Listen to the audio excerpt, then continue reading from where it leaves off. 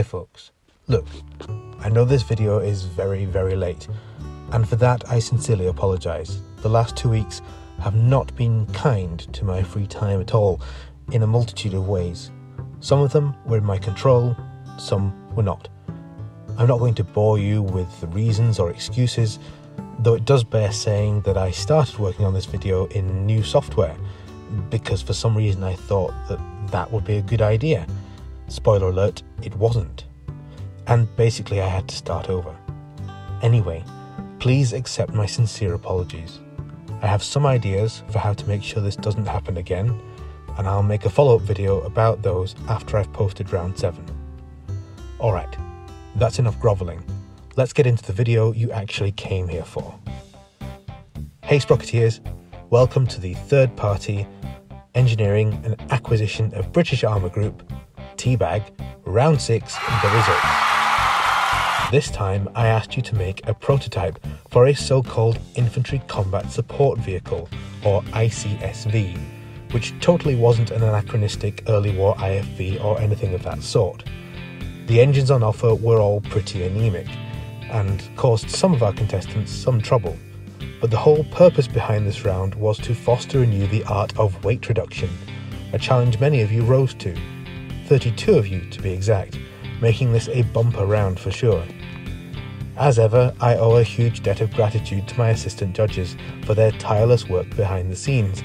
I couldn't do this without my amazing team, who give so much of their time for free just so we can have this contest. I also want to thank all of our lovely contestants, without whom there would be no contest at all. But enough with the preamble. It's time for the reason that you're all here the results. First, but not particularly foremost, it's the sales pitch category where the objective is to sell your design to the War Office. Think Dragon's Den or. Hang on, what's the American version of that? Shark Tank. Shark Tank. They're investors who sit on lots of money, like, you know, dragons on treasure, not bloody loan sharks. It's a subtlety too far for the Yanks, evidently. Anyway, I'm getting sidetracked. Oh, speaking of, did you know that I got sidetracked as a guest in the upcoming Sidetrack podcast? Well, I did. And now you know. So go check out the Getting Sidetracked podcast. So you too can lose track of your train of thought as it becomes derailed from its tracks. And uh, anyway, here are your top five pitches. Or rather, here would be your top five pitches if it were possible to separate second to sixth place. I suppose a lot of you think this is funny at this point. This, oh, let's all be tied for the top places with the exact same score and force TE to make a judgment call lark. Well, I can assure you that it isn't funny or clever, so cut it out, alright? Here then are the joint second place pitches. All bloody five of them. In no particular order, the BHI Infernal by Terrianis, the Mark 16 Dragoon by Comic 79, the S6 Chadley by JRFS Assorted, the Infantry Support Character by Ben Vakin, and the M312A8 by F Cave Troll. Mercifully, there was a clear winner in this category, just. The sales pitch category win goes to the A23 Mark III Pegasus by the Man Gallify. Wow, this is a lot of writing. Serious points for effort here. What makes this the winning pitch? Well, to quote the assessment of my assistant judge, this pitch is almost perfect, and only lost out on one category point for not quite being able to match the runner up designs for the depth of detail regarding the unseen and internal features of the vehicle, though this aspect of the pitch is also very good.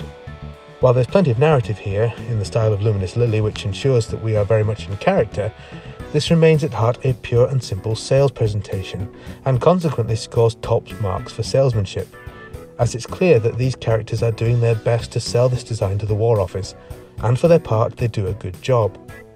The pictures don't benefit from the wonders of Photoshop, but they're all well framed, plentiful, and suitably grayscale. But moreover, they contain a sense of humour, where appropriate, which is appreciated. Moreover, we all know I'm a sucker for a stat sheet, and in this case, we have this wonderful in universe one, which is here pictured as a plaque in front of the tank at the presentation, which is a really nice touch. Well done, the man Gallify. This was a really close contest category, and it's hard not to give the win to any of the top six, but you did just enough to pull ahead and claim the win, so congratulations. Next up, it's the aesthetics category, the category that once upon a time didn't exist, but now it does, and it's becoming increasingly competitive, I might add. Here are this month's Armoured Beauty Pageant frontrunners. In at 5, it's the Vickers NHI Medium by Cute Little Boy. In fourth, the Mark III Wallaby by Mediocre Anteater 942. In third place, the KAT or CAT 22 by Katza 316. Silver medal position goes to the R1 support tank by Doralo. And the aesthetics category winner is the A18 Dragoon 2 by Comrade Gopnik. Comrade Gopnik, you've excelled yourself this time. I love the look of this machine. Sure, we've had designs with more aesthetic wow factor and innovative flair than this before. It's true, but what the A18 Dragoon does so well is, well, just getting everything right. From the track type to the side skirts, the turret design, the custom decals, the muzzle brake, the rivets, this machine screams British. Detail is everywhere, and this right here is my favourite part of the whole vehicle. The water cooled Vickers machine guns are a lovely touch, and I was pleasantly surprised to see the return of Decker Dave's signature partially open custom storage box idea, complete with stuff inside. But perhaps the most outstanding feature of this vehicle are the custom decals. Every hatch and box is labelled in a convincing and immersive style, and we have all the appropriate division and squadron markings, bridge rating disc, license plate, crew inscription, you name it, it's all here and it all really makes the vehicle feel real. It goes without saying that this design therefore gets 10 out of 10 for detail. National identity and era appropriateness as well. Only a single subcategory point was lost for X Factor, as the design is fairly safe looking overall, and because I'm mean and I don't like to give out perfect scores. Anyway, congratulations, Comrade Gopnik, you definitely deserve this category win for the effort you put in here. Alright, time to move on to that most riveting of categories specification criteria exceeded. This is one for the top trumped child in each of us. This category measures how your design compares to the minimum requirements of the challenge specification. The judging for this category functioned a little differently from usual this time to try to better capture the overall quality of the vehicles, rather than simply rewarding you for having the most fuel and ammo. In fifth place, it's the Mark 16 Dragoon by Comic 79, at number 4, we have the Fennec Mark II 840 by Portocaro. In third, it's the Mark IV Pitchfork by the Dogfather. Runner up here is the Calyx ICSV by Initiate Epsilon. And the specification criteria exceeded category winner is the Triton ICSV by YHI Zuikaku. To be quite frank with you, the Triton is a bit of an enigma to me. It somehow manages the highest total score in this category while, by and large, avoiding scoring points seemingly wherever possible. At 11 tons, it's one of the heaviest, and it only just sca- scrapes past the minimum speed requirement. It uses the only engine that doesn't score you bonus points and the wrong gun. You're meant to use one of the howitzers. It doesn't have extra internal space, nor does it have an exceptionally large fuel tank. It's quite average score wise until you get to its armour where it has easily one of the toughest armour profiles of any of the vehicles submitted, with frontal hull and turret armour of 70mm or thicker, which certainly helps its score considerably. Couple that with perfect gun handling, excellent crew efficiencies, neutral steering, and a radio operator, yes, that's a hidden bonus this round, and we plan to make radio a part of the specification requirements from the next round onwards. And the Triton manages to do enough to edge ahead of the competition. The result is a surprisingly well rounded vehicle that functions more like an infantry tank with the ability to carry infantry, rather than an IFV, and that's very cool in my book. Well done YHI Zuikaku, you are the specification criteria category winner. Take me down to the proving grounds where the concrete is grey and the mud is brown. In the proving ground category, we put your tanks through their paces in a series of mobility trials to prove whether or not your designs are just good on paper or not. This round, my assistant judge decided to change things up a little and include a test lap of the sandbox grounds, including target shooting. Let's see how you all got on. In fifth place, it's the A18 Dragoon 2 by Comrade Gopnik. In joint second, we have three entries, and here you lot go again with this nonsense. It's the Mark 16 Dragoon by Comic 79, the A23 Mark III by the man Gallify, and the Mark III Wallaby by Mediocre Anteater 942. But the clear category winner here is the Wayland IFV by XX Intended Disaster XX. Again, we did things a little differently this round for the mobility testing. As I said, my assistant judge devised a course that utilised more of the sandbox map and tested mobility in a more real world sense, including some target shooting. A time was also recorded for your best run out of three loops of the circuit. The Weyland IFV does a very good job, even when hounded by these uh, ominous floating tools. The Weyland proved to be accurate in the target shooting and capable of consistently posting some of the very fastest lap times. It excels at crossing any obstacles we threw at it and picked up no penalties on its runs, so well done, intended disaster. You succeeded in making an impressively mobile vehicle despite my best efforts to make you all suffer with the worst possible engines I could think of. Congratulations on the mobility category win. And now, with our category winners suitably celebrated, it ought to be time to announce this round's runner up, but we can't because there isn't one. That's right, it has happened again. The stars have aligned, and two vehicles have, in the most mundane and pointless miracle ever, yet still a miracle, scored exactly the same amount in total score 36.25 to be precise.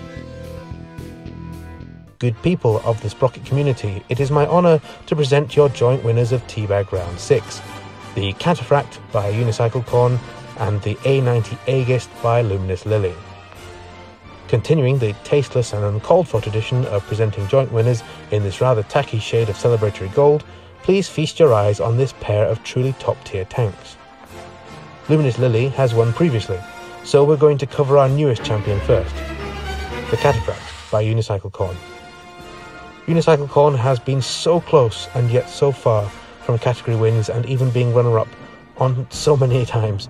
Now it feels honestly such a relief that one of their designs is finally getting the recognition they deserve.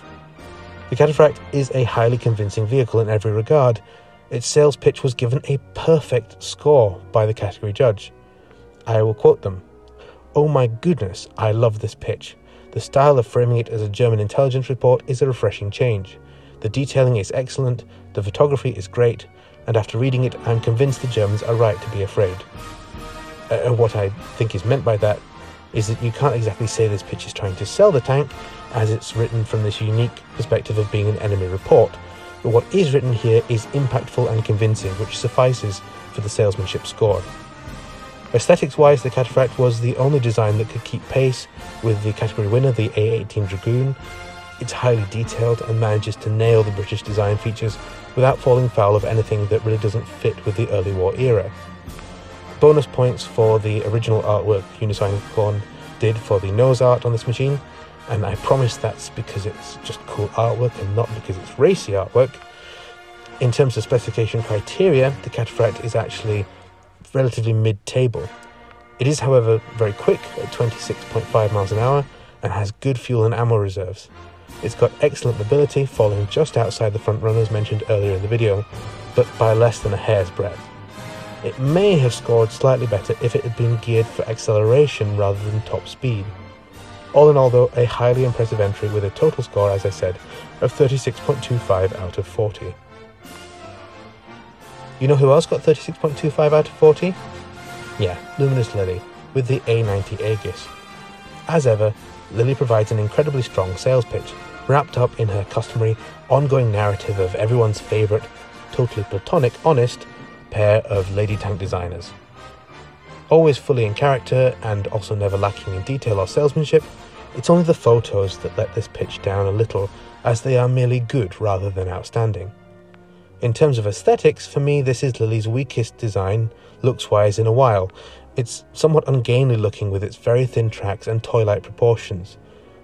I realise these are concessions for performance. Nevertheless, there's detail in spades, and it makes no mistakes as far as era appropriateness goes.